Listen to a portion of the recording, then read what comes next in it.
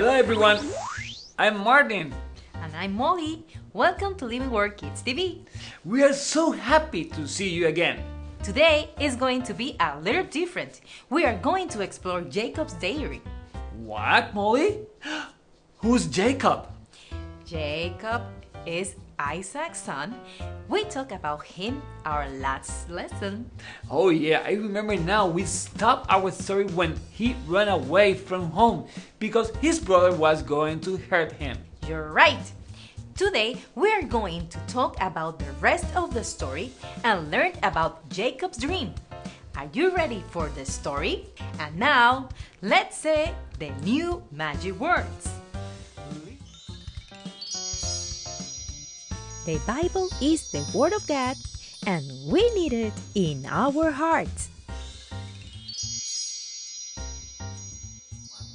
The Bible is the Word of God, and we should have it all times in our heart. Leafy and Daisy, we, We are ready!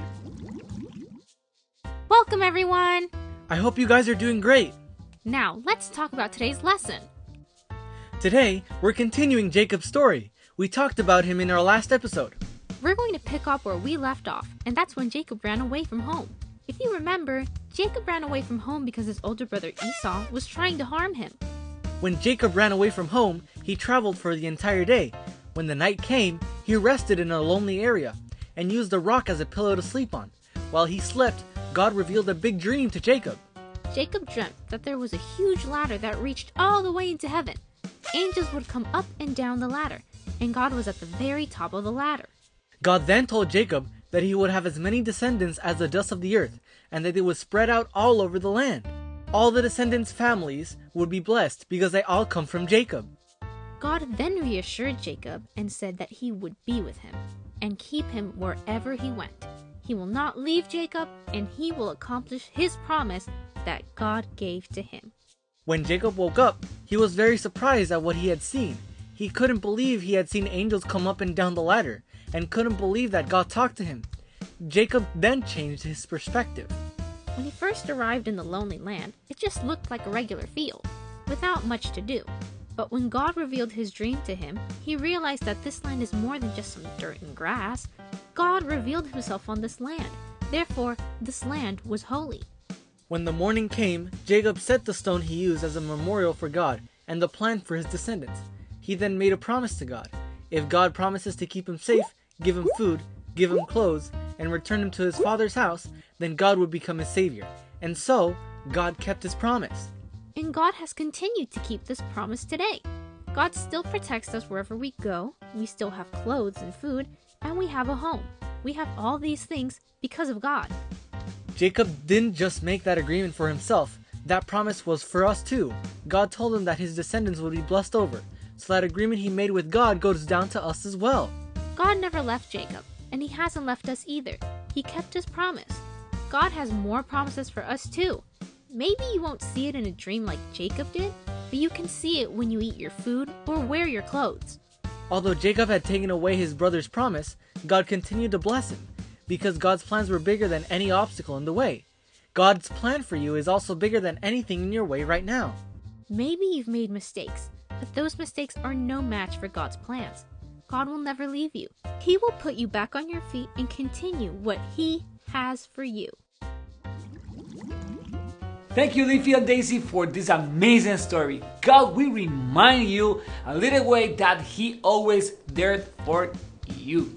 Maybe he won't give you dreams just like he gave Jacob, but he can give you new days and new experience instead.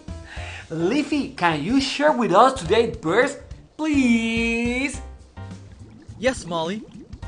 Deuteronomy 24. For the Lord your God is he who goes with you to fight for you against your enemies, to save you. Thank you, Leafy, for sharing with us today's verse. We need to remember that God always has our back, and we should give Him thanks for that. God has unlimited amounts of mercy for us, so even if we do something wrong, He will remind you that He will still be there for you. Give God thanks.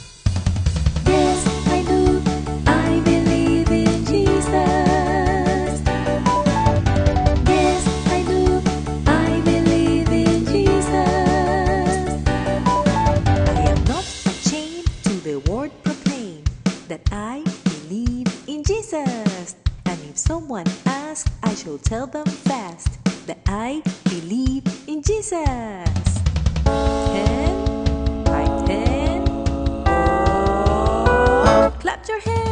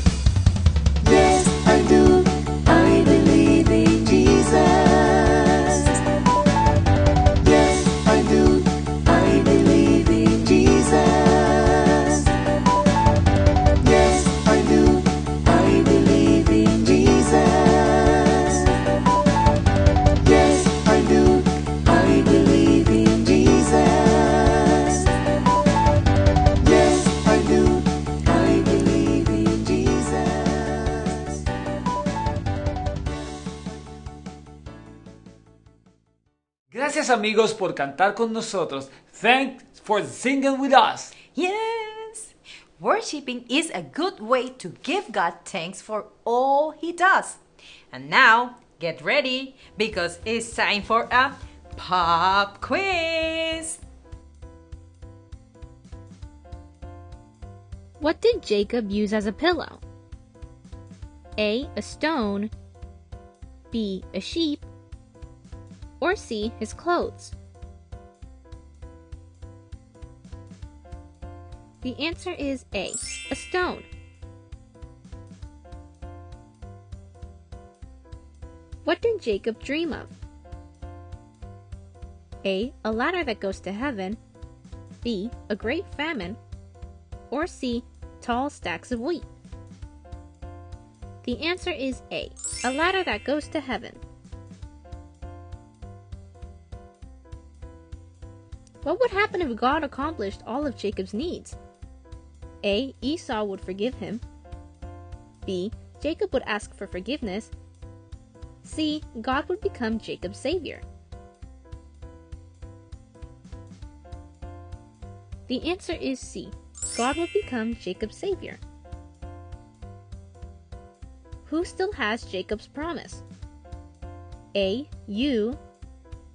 B. Your family. C. Everyone.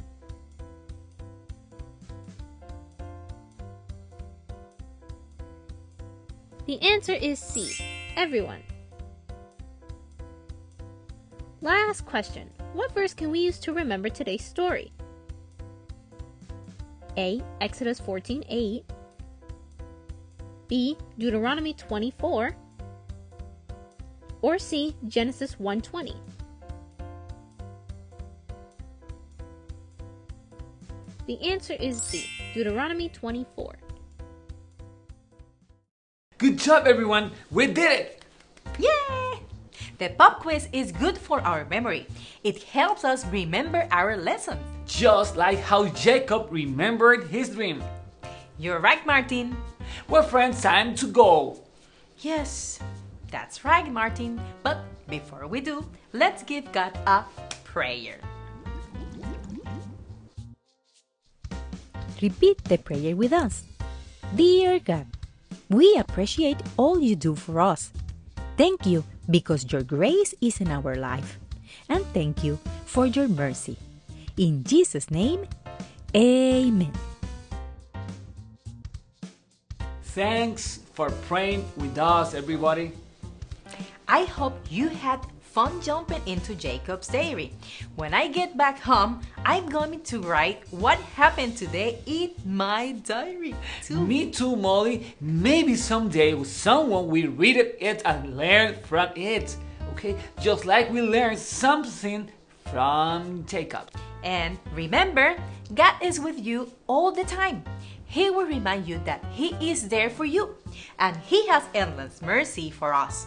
So let's give Him thanks every chance we get.